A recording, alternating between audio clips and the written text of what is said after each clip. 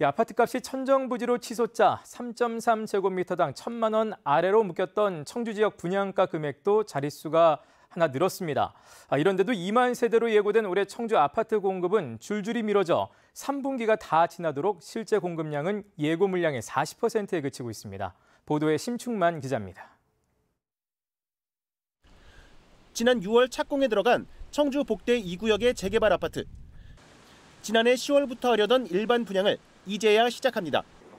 3.3제곱미터당 1천만 원을 못 넘는 분양가에 불복해 꼬박 1년을 미뤄온 것입니다. 결국 청주시가 승인한 분양가는 3.3제곱미터에 1,017만 원. 개발용지 기부 체납을 조건으로 1천만 원 이상을 승인했던 과거 딱 한 사례를 제외하고 충북에서 속칭 평당 분양가가 1천만 원을 넘기는 이번이 처음입니다. 또 시는 분양가를 강하게 인하를 요구를 했고 거기서 상호 이해하는 과정에 시간이 좀 길었던 것 같습니다. 이 재개발 단지를 포함해 올해 청주에 공급된 아파트 물량은 모두 8천 세대. 3분기가 다 지나도록 당초 청주시가 예고한 2만 세대의 40%에 불과합니다. 연초 예상 물량 가운데 17%인 3,300세대는 올해 분양 계획을 아예 철회했고 나머지도 10월 이후로 일정을 미뤘지만 연내 얼마나 될지는 장담을 못합니다. 사업자 측에서 분양 예정을 저희한테 알려줍니다.